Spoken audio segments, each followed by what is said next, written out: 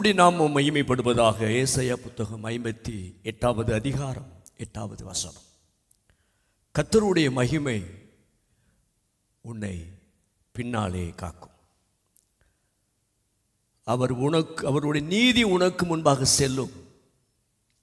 அவருடைய மகிமை உன்னை பின்னாலே காக்கும் என்று தேவன் சொல்லுகிறார் ஆண்டவன் நம்முடைய வாழ்க்கையின் முன்பு மாத்திரமல்ல நம்முடைய வாழ்க்கையினுடைய பின்பகுதிகளிலும் நம்மை கண்ணின் மணி போல காக்கிற தேவனாக இருக்கிறார்.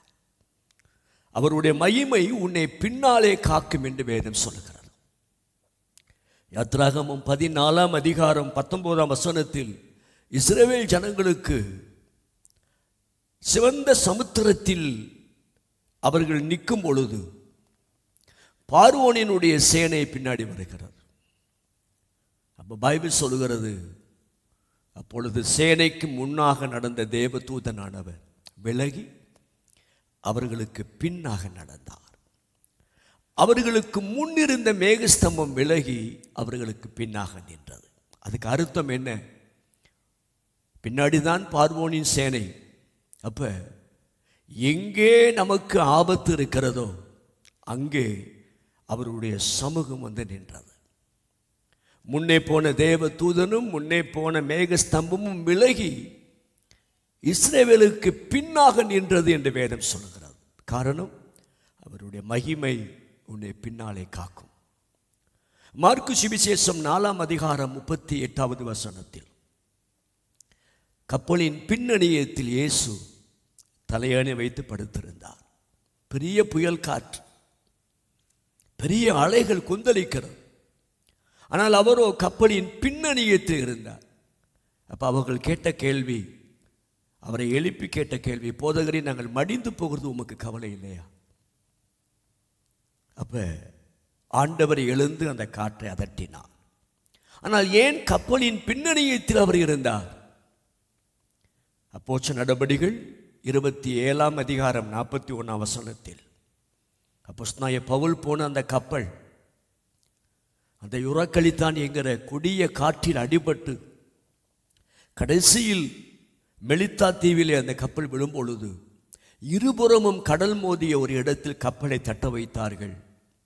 கப்பலின் முன்னணியும் ஊன்றி அசையாமல் இருந்தது. பின்னணியும் அலைகளுடைய பலத்தினால் உடைந்து போயிற்று. அப்போ ஆண்டவருக்கு தெரியும் அலைகள் எழும்பும் பொழுது கப்பல் எந்த எங்கே உடையும் கப்பலின் பின்னணியை தான் உடைந்தது. ஆகையால் ஆண்டவர் கப்பலின் பின்னணியத்தில் அவர் நம்மேல் அக்கறை இல்லாமல் இல்லை. நம்மை பாதுகாப்பதற்காக அலைகளின் பலத்தினால் படகு உடைந்து போகாமல் இருப்பதற்கு அவர் கப்பலின் படகின் பின்னணியத்தில் அவர் தலையணியை வைத்து படுத்திருந்தார். அருமை ஆண்டுடைய பிள்ளைகளே அவருடைய மகிமை நம்மை பின்னாலே காக்கும். அது மாத்திரமல்ல பின்னாலே காப்பது மாத்திரமல்ல. ஏசையா புத்தகம் முப்பதாம் அதிகாரம் இருபத்தி ஒன்றில் தமக்கு பின்னாலே வார்த்தையின் பாதுகாப்பை வச்சிருக்கிறார். அவர் சொல்றார் நீ போகும் பொழுது வலதுபுறமாய் இடதுபுறமாய் சாயும் பொழுது வழி இதுவே. வழி இதுவே என்று உங்களுக்கு பின்னால் என்ன அருமையான ஒரு தேவன். அவர் சொல்கிறார் நீ போகிற பாதையில் உனக்கு பின்னாலே நான் சொல்லும் வார்த்தைகள் உன் காதுகள் கேட்கும். அப்போ பின்னணியத்தில் பாதுகாப்பு மாத்திரமல்ல நம்முடைய வாழ்க்கையின் பின்னாக வார்த்தையின் பாதுகாப்பையும் கத்த நமக்கு கொடுக்கிறார். அது மாத்திரமல்ல சங்கீதம் நூற்றி முப்பத்தி ஒம்பது அஞ்சில் தாபீது தேவனுடைய அன்பை சொல்லுகிறான். அவர் முற்புறத்திலும் பிற்புறத்திலும் என்னை நெருக்கி உமது கரத்தை என் மேல் வைக்கிறேன் என்ன அழகான ஒரு வார்த்தை. நமது வாழ்க்கையின் நமது வாழ்க்கையின் பிற்புறத்தில் அவர் தமது கரத்தை வைத்து முற்புறத்திலும் பிற்புறத்திலும் நம்மை ஆதரிக்கிறார். இந்த காலையில் நாம் அறிக்கை பண்ண வேண்டிய ஒரு வார்த்தை என்னை பின்னாலே காக்குகிற ஒரு தேவன் இருக்கிறேன் கத்தர் பெரிய காரியம் செய்வார். May God bless you.